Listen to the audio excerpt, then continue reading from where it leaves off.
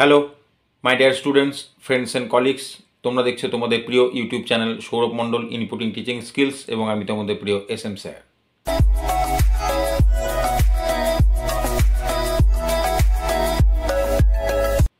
আজকে তোমাদের অনেক অনুরোধে আবার সেই যে বিষয় তোমার প্রচণ্ডভাবে ভাবিত তোমরা প্রত্যেকেই এবং সকলেই টেনশন আছো, সেই বিষয়টি নিয়ে আবার উপস্থিত হয়েছি। তার মূলগত কারণ হচ্ছে যে তোমরা একটার পর একটা আমাকে কমেন্ট করছ। যেমন আমি কয়েকটা কমেন্ট যদি তোমাদের পড়ে শোনাই, আমি তার মধ্যে থেকে কয়েকটা কমেন্ট যে বনশ্রী অ্যাট দ্য রেট বলে একজন আছে please make a video about fourth phase admission please sir আবার সুভাষ বালা অ্যাট দ্য রেট বলে যিনি আছেন তিনি লিখেছেন ফোর্থ ফেজ অ্যাডমিশনের আশাতে আছি স্যার বলুন, তারপর অর্চনা জানা বলে একজন তিনি লিখেছেন, স্যার, বিএড অ্যাডমিশনের কি আর হবে? হবে না?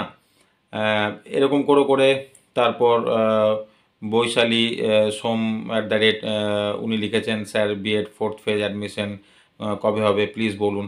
এরকম করে কমেন্ট আসতেই থাকছে। তো সেক্ষেত্রে আমি তোমাদের বলে দিই যে তোম লাস্ট যে ভিডিওটা বলেছিলাম, সেখানেও আমি তোমাদের একটা কথা বলেছিলাম যে বিএড অ্যাডমিশনটাই এবার আস্তে আস্তে তার যে জটিলতা সেগুলো কাটতে শুরু করেছে এবং আমি তোমাদের একটা ডেডলাইনের কথাও বলেছিলাম, যদি ওই ভিডিওটি দেখো। সেখানে বলেছিলাম যে ফিফটিন জানুয়ারি দু হাজার মধ্যে সমস্ত মেঘ কেটে যাবে এবং সেই অনুযায়ী কিন্তু সেটা বলেছিলাম, আজ থেকে প্রায় এক মাসের কাছাকাছি হয়ে গেল। মানে একটা ওই দশ তারিখ করে করেছিলাম ডিসেম্বর আর একটা উনিশ তারিখ করে ভিডিও করেছিলাম। তো সেগুলো তোমরা দেখবে।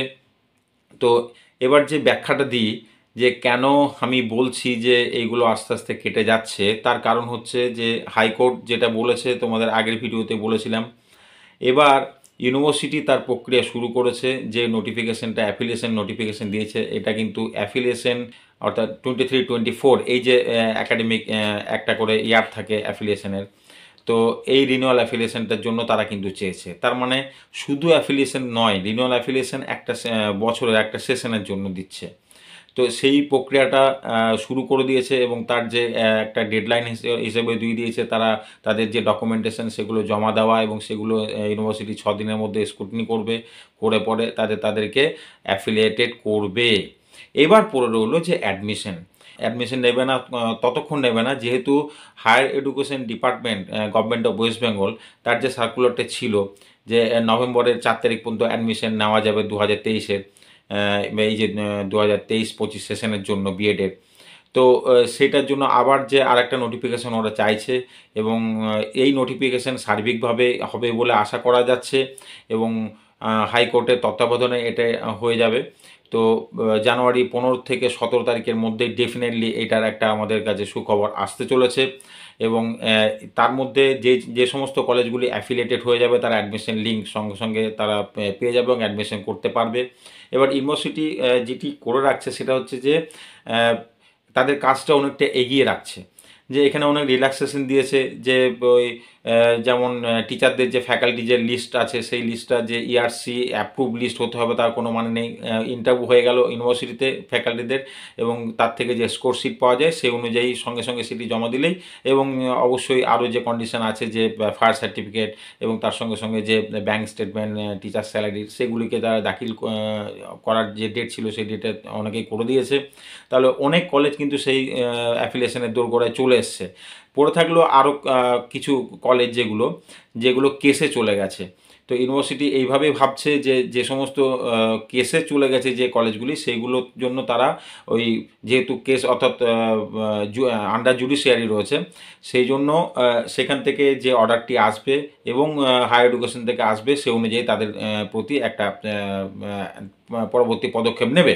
কিন্তু যারা নন কেস যে বিএড কলেজগুলি আছে, অনেক কলেজ আছে যেগুলো নন কেসের মধ্যেই রয়েছে, তাদের জন্য কিন্তু প্রক্রিয়াগুলি অনেকটাই এগিয়ে রাখছে। তো যাই হোক, আবার বলছি, জটিলতা কাটতে চলেছে তোমাদের এবং তোমরা আশা করছি খুব তাড়াতাড়ির মধ্যেই অ্যাডমিশন লিঙ্কের মধ্য দিয়ে পোর্টালের মধ্য দিয়ে অনলাইন সিস্টেমে তোমরা দু হাজার তেইশ পঁচিশ সেশনের বিএডের জন্য তোমরা অ্যাডমিশন নিতে পারবে। এই আশা রেখেই তোমাদেরকে আবার আমি আশ্বস্ত করছি। তোমাদের ডোন্ট ওরি ওরি হওয়ার কোনো ব্যাপার না। আমি প্রথম দিন থেকে একই কথাই বলে যাচ্ছি।